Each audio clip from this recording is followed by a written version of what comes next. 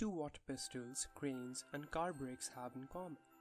They all have hydraulics to thank, which is the movement of liquids. In this video, we'll look at how hydraulics multiply forces. Solids, liquids, and gases. Which of these can be compressed? Well, gases definitely can. Think of compressing a balloon. And solids definitely can't. Think of compressing a tree. But liquids, it requires a great deal of pressure to accomplish a little compression. For that reason, liquids are sometimes referred to as being incompressible. This is an incredibly useful property. We can use liquids to transmit pressure out equally in all directions.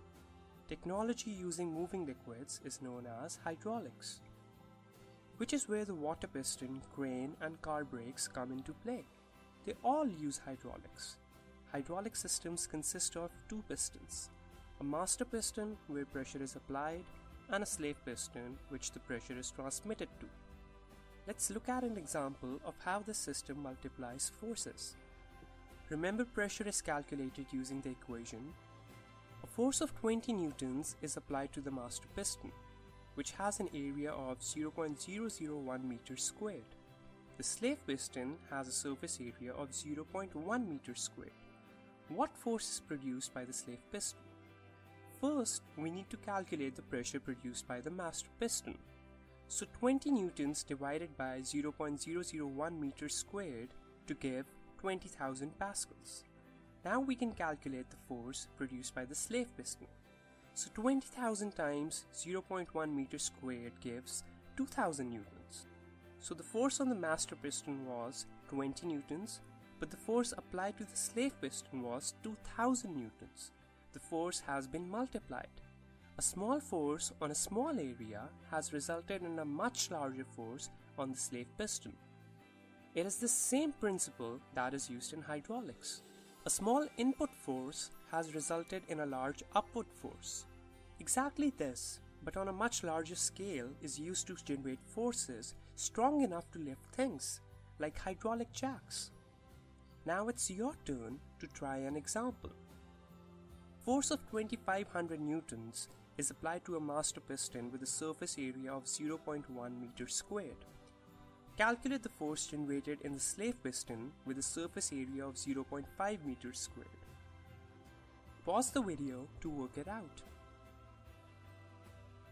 So the pressure produced by the master piston is 25,000 pascals.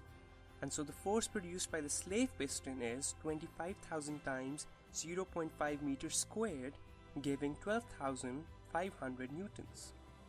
That's a massive increase in force from the original 2500 newtons applied to the master piston to the 12,500 newtons produced by the slave piston.